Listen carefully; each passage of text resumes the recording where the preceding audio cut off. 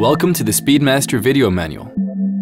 Positioned on the side of the watch is the crown, which is used for setting the time and adjusting the time zone and the date. Although the watch is self-winding, when the crown is in this position, it can be wound forward for extra power.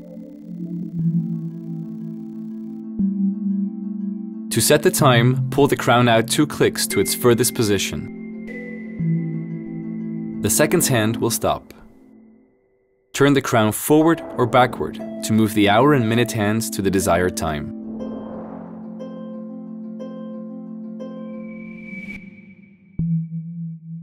You can adjust the time zone easily to accommodate time changes when you travel.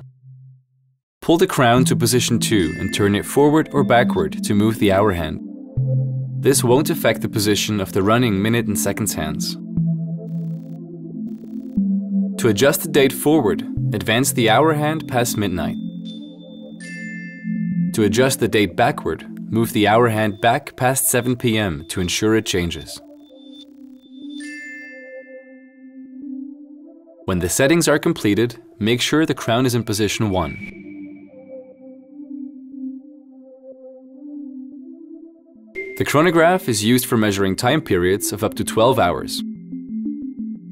To start or stop timing, press the upper pusher located at 2 o'clock.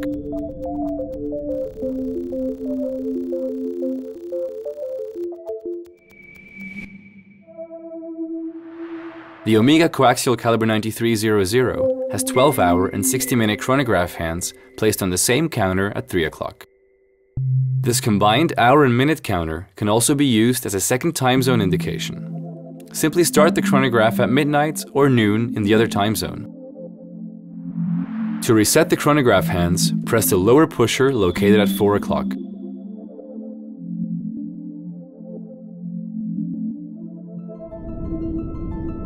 For ease of reading in low light conditions, the watch's hands and applied indexes are coated with superluminova, which emits a green light.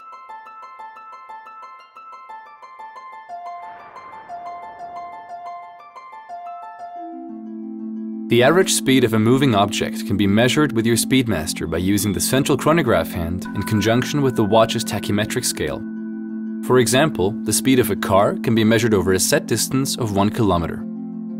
Press the upper pusher located at 2 o'clock to start the measurement. When the car has reached a distance of 1 kilometer, press the pusher again to stop the measurement and read the value on the bezel scale. In our case, the car has covered the distance in 30 seconds. Therefore, it's traveling at an average speed of 120 kilometers per hour. Thank you for watching this video manual. We hope you enjoy your Speedmaster.